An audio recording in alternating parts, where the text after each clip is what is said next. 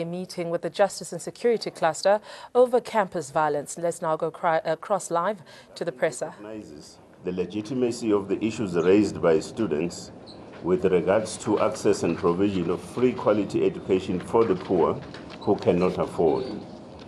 However, in pursuit of this noble undertaking, the JCPS cluster wishes to emphasize that acts of violence, intimidation, and destruction of property will not be tolerated. It is important to note that government has made great strides towards the realization of this noble ideal of expanding access to higher education to, for students from poor and working class backgrounds. To this end, for the 2017 academic year, government has ensured that poor students who receive assistance from NSFAS, middle class and missing middle, don't pay any fee increase. Students from families with family annual income of up to 600,000 rands will not pay any fee increase. Government has further recommended to universities that the fee increases should not exceed 8%. The subsidy will benefit almost 70% of all undergraduate students in universities and colleges. And in, in some universities, of course, this will cover more than 90% of students. South Africa, ladies and gentlemen, is a constitutional democracy with a comprehensive legislative framework that provides, amongst other things, for gathering and protesting in a peaceful and lawful manner. Government recognizes and respects the right to freedom of expression. We would, however, like to warn all protesters that Section 16, subsection 2 of the Constitution of the Republic of South Africa does not extend this right to incitement of imminent violence. We appeal to the leadership of students, parents, and all stakeholders to work together with government to dissuade students from committing acts of criminality that may result in criminal records which may jeopardize their future prospects. Fellow South Africans, the JCPS cluster genuinely believes that the challenges that confront our society in the wake of the hashtag fees must fall protests do not in any way diminish our collective responsibility towards the safety and security of one another. We urge members of the police to always act with maximum restraint and ensure that their conduct is always beyond reproach. We equally appeal to the students to work with our law enforcement agencies in ensuring that these protests are peaceful. The National South African Police Service leadership is today engaging provincial commissioners to firm up plans to secure the protests, the public and private property, students and members of the public generally. We will continue to update our nation on work that government is doing to normalize the situation at institutions of higher learning, thereby allowing for the academic program to continue. End of statement. Thank you very much, ladies and gentlemen. Ladies and gentlemen, members of the media, thank you very much. Um, I will have to take the first round of questions. Are there any takers? Foley, PMCA. Please, uh, we know the ritual. Are we coming out? Um, thank you very much. Pauline Ngambi from ENCA. Visuals there coming uh, from Police Minister Nkosinathi Nhleko just uh, um, addressing the media, and uh, he speaks of uh, the protests that have been happening across varsities in the country and how they have become uh, violent. Security clusters um, having been called by President Zuma a couple of days ago, and uh, emphasizing that uh, protesting, while it is enshrined in the Constitution, it also comes with responsibility, also asking for united effort from not only the students but parents as well, university management, the government, as well as the police, um, to make sure that the protests do not become violent and that property is, um, is secured. Also, mentioning that he will be in contact with commissioners across all the provinces to make sure that the protests are secure and uh, also warning the students that uh, um, some of the activities and the actions that he has seen in the past couple of days could result in uh, criminal records for the students and it will jeopardize their future. Um, that's the police minister. They're taking questions from the media now. But has that incident, or could that incident perhaps uh, cause you to maybe apologize for, for, for what has happened there? And just lastly, therefore, we saw at University of Johannesburg security guards, private security, really overreaching in as far as their mandate is concerned. Um, where does the law, or what does the law say in as far as how private security in the country should handle themselves? We note, of course, that the university has apologized for that incident, but from the law enforcement side of things, what are the parameters for private security? Thank you, Claudia Griselda. Uh, good afternoon. I'm Griselda Lewis from SABC Television. I don't see anything in the statement pertaining to what exactly are the plans that are being put, place, uh, put in place at this juncture. Are you planning to beef up uh, a, a, a, police uh, within these institutions? Because as far as we understand, students are saying that they're going to continue uh, with their protest action. And the second question uh, very much relates to what Pauline Ngambi said uh, with regard to private security. Is there any talks perhaps that are being held at this stage to try and outline the role of these security uh, personnel uh, within these various institutions? Because the sense that we're getting is that uh, the security agents at these universities, employed by the universities, are sort of agitating the situation on this because students feel that they are being intimidated on premises of higher learning. Thank you, Griselda. Any taker? Minister uh, No, thank you very much, uh, uh, ladies and gentlemen. Um, the South African Police Service, in executing its duty in enforcing the law, has got to be always guided by, firstly, our constitution, the limitations that are expressly contained there in section 16, subsection 2, which basically does recognize, yes, the right for any one of us to protest, but then, of course, a, a, within certain boundaries and limitations. And of course, the question of the responsibility having got to be taken around that. Now, but also far and beyond just what the Constitution says, you have other pieces of legislation, for instance, that speaks you know, directly to the issue of uh, issues uh, such as intimidation, amongst other things. Uh, the one I can think of uh, right away is the Rioters uh, and Gatherings Act, amongst other things, which also speak to the issue of how we need to conduct ourselves eh, when, eh, when, when it comes to issues of public protests, issues of intimidation, incitement, and so on and so it goes. So we'll be firmly guided by, eh, by such. The incident at Rhodes is quite, was quite an unfortunate incident. Of course, we need to still gather all the necessary facts in terms of what essentially transpired in, in that particular situation. And it is for that reason also that in the statement we are making two a, particular points almost equally. The first one is that the manner in which we have got to act as the police service, for instance, we need to act within the context of the law, but also with restraint.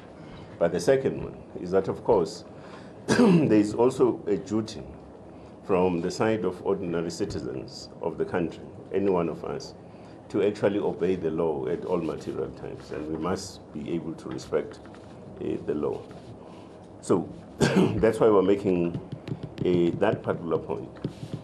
The issue of private security, I would like to lump the very same question that uh, Mr. Mugambi raised with Ms. Lewis here on the question of the private uh, security uh, companies.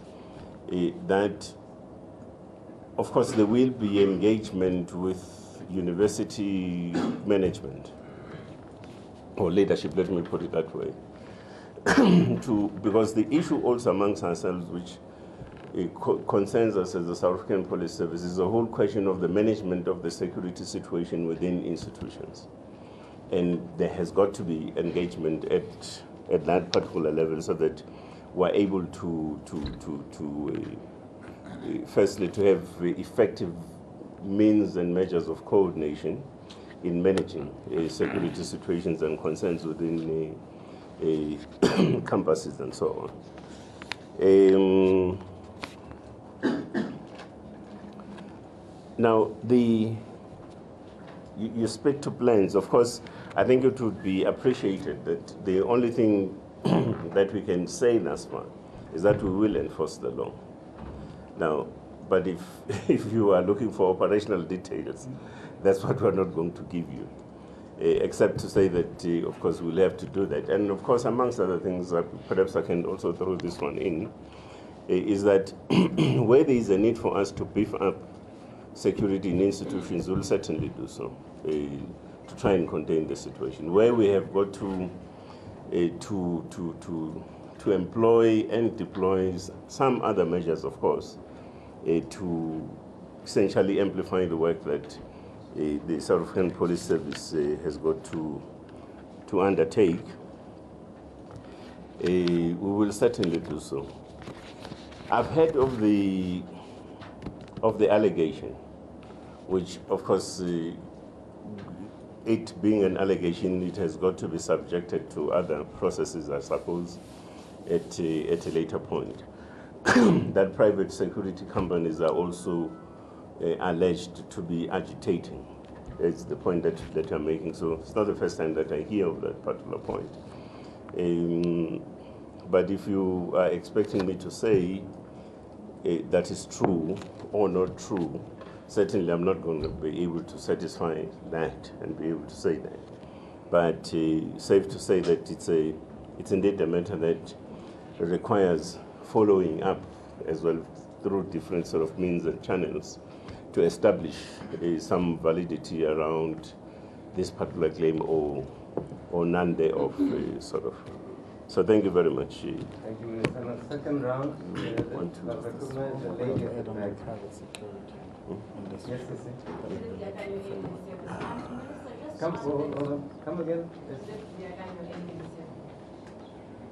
Yes, Judith, continue.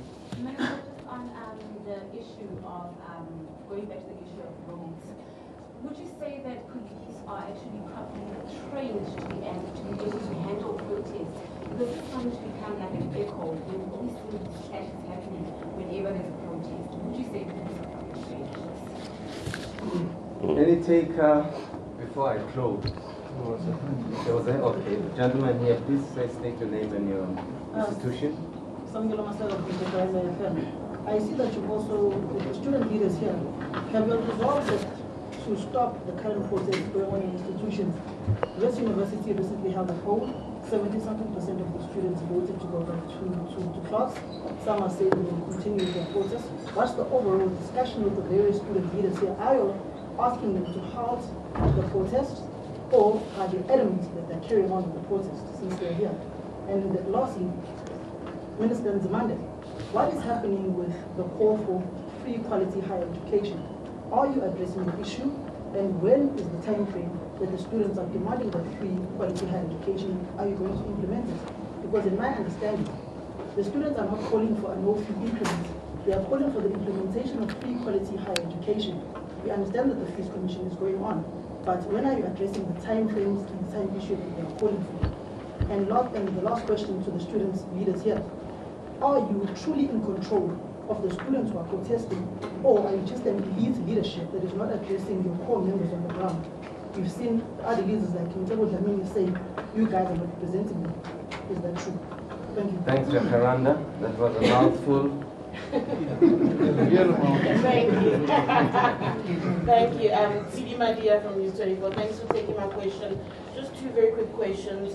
One is for the Minister of Intelligence. Just wanted to get the role of intelligence. Quite often, the intelligence community is criticized for being reactive and, and not seeing things before they happen. Very often, adversity is being taught schools and the likes. I just wanted to know if there is a role in this particular issue. Secondly, for the student because it's almost in line with what Samkela just asked now. Are there concerns that going back from here, you'll be rejected because you agreed to meet with government? Thanks. Thank you very much. I'll allow the ministers to respond and then I'll take Griselda and Paul as the last.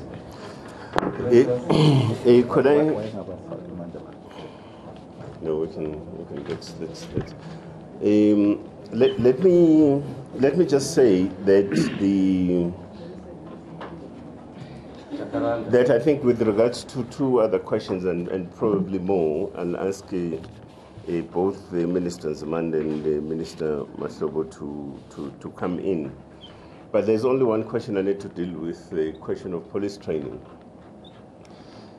Firstly, just maybe two things about that. If, if, if that question is premised on what happened at Rhodes, it is also likely that that could be a wrong premise because uh, we still have got to interrogate all the facts in terms of what actually transpired there besides what we see on, uh, on, on, on videos and, and what has been flighted right, at right across.